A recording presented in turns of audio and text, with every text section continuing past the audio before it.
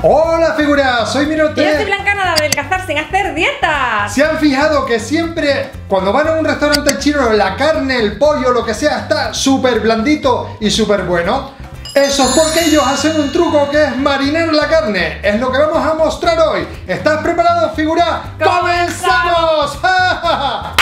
Usaremos un kilo de carne de vaca o res cortada en filetes, dos cucharadas grandes de salsa de ostra, un poquito de pimienta, una cucharada de salsa de soja, un chupito de vino chino de arroz, un chorrito de aceite de sésamo, una cucharadita pequeña de bicarbonato y otra de harina de maíz fina o maicena. Si no encuentras alguno de estos ingredientes, pues no te preocupes. Aún así la puedes preparar y lógicamente no tendrá el mismo punto sabor, pero seguro que también te quedará riquísima. Lo primero que tenemos que hacer es cortar los filetes de carne en tiras de este tamaño aproximadamente. También puedes cortarla en cuadraditos pequeños, como muchas veces preparan las carnes en la cocina china. Hay que tener la precaución de quitarle siempre los trocitos de grasa que pueda tener la carne. Ya tenemos toda la carne cortada y la vamos a poner en un bol grandito para poder marinarla bien. Ni que decirte que si quieres hacer más cantidad o menos de carne, solo tienes que mantener las proporciones para que te quede perfecta la elaboración.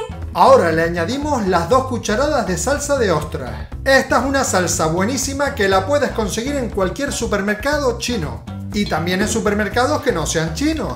Le añadimos también una cucharada de salsa de soja, Espolvoreamos una cucharadita de maicena que después mezclaremos muy bien con la carne. El bicarbonato sódico. Si te falta un ingrediente ya te dijimos que no pasa nada, pero este no puede faltar ya que dejará la carne con un punto de ternura espectacular. Y le añadimos pimienta recién molida al gusto. Ahora pasamos a revolverlo todo muy bien para que la carne se impregne de todos los ingredientes. Te puedes ayudar de una cuchara si te es más fácil.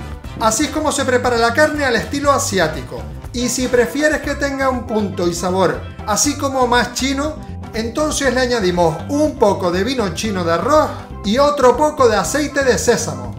Ahora sí que tendrá el verdadero sabor chino. Revolvemos todo perfectamente y vamos a pasar la carne a un bol más pequeño para poder guardarla en el frigorífico, al menos durante dos horas, aunque si la tienes como nosotros de un día para otro, pues mejor sabor tendrá la carne. Y este es el aspecto que tiene que tener cuando ya está marinada, no demasiado líquido, así como ligeramente pastoso y con muchísimo sabor chino. Bueno, pues ya sabes, la próxima semana haremos una pedazo de receta china con esta super carne. Y si te ha gustado, like y suscríbete y síguenos en las redes sociales. Y nos vemos el próximo miércoles con una nueva receta sorpresa. Y ahí sí que decimos, mirote, esperamos, que, te guste y salud para todos.